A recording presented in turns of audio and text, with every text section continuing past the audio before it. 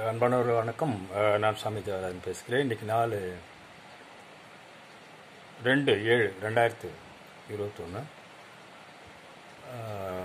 இன்னைக்கு காலையில் ஒரு ஃபோன் ஒன்று வந்தது எனக்கு சென்னையிலேருந்து நான் இப்போ ட்ரிச்சில் இருக்கிறேன். இந்த சிவசங்கர் பாபா அவருடைய அவருடைய டெவர்ட்டி ஒருத்தர் வந்து பக்த பக்த கொடி ஒருத்தர் வந்து ஃபோன் பண்ணி இது மாதிரி என்னை வந்து இந்த ட்ரஸ்ட்டில் இருக்கிறவங்களாம் மிரட்டுறாங்க.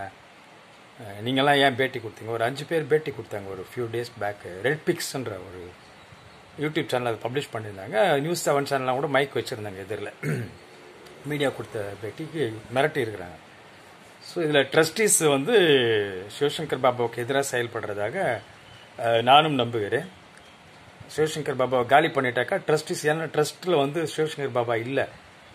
ஸோ ஒரு சன்னியாசின்றதால அவர் எதையுமே தனக்காக வச்சுக்க காணும் அவருக்குன்னு பேங்க் அக்கௌண்ட் கூட இல்லையா? எல்லாமே ட்ரஸ்ட்டில் தான் இருக்குது. இவங்க தான் ட்ரஸ்டீஸ் தான் இதில் ஹேண்டில் பண்ணுறாங்கன்றதால அவங்க வந்து அவரை இதோடு வரக்கூடாதுன்ற மாதிரி அவங்க பண்ணின்னு இருக்கிறாங்க. இவங்க வந்து பக்த கோடிங்களை வந்து அவர் வர வைக்கணும்னு பார்க்குறாங்க. அதனால் இவங்களுக்கு த்ரெட்டு கொடுத்துருக்குறாங்க. அப்போ அவங்க ஃபோன் பண்ணி என்கிட்ட கேட்டாங்க.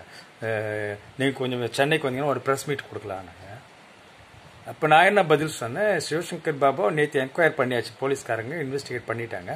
அந்த ரிப்போர்ட்டை வந்து கோர்ட்டில் கொடுத்துருக்குறாங்க மேஜிஸ்ட்ரேட் கோர்ட்டில் ஸோ மேஜிஸ்ட்ரேட் கோர்ட்டை அந்த ரிப்போர்ட்டை அனலைஸ் பண்ணிட்டு அவங்க வந்து உங்களுக்கு தீர்ப்பை வந்து சொல்லுவாங்க கட்டாயமாக என்ன பண்ணுறதுன்னு அடுத்த நெக்ஸ்ட் கோர்ஸ் ஆஃப் ஆக்ஷன் அவங்க சொல்லுவாங்க.